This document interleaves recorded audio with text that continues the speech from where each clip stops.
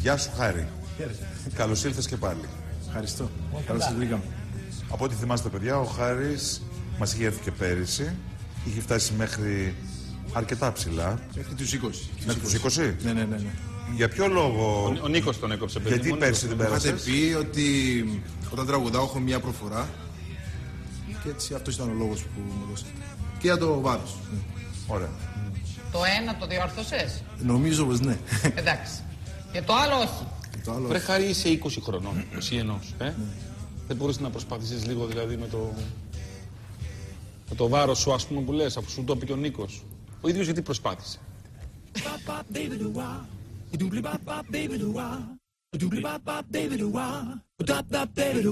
Πολύ ωραία.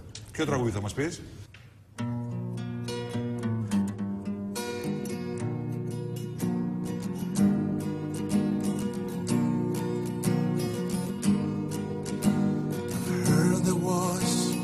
secret chord that they would play and please the Lord, but you don't really care for music, do ya?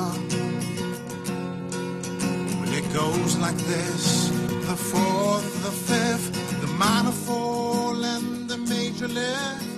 The baffled king composing hallelujah. Ας πούμε από αυτά, χάρη αυτά που είδες πέρσι, εσύ πιστεύεις ότι θα έπρεπε να ήσουν στους, ε,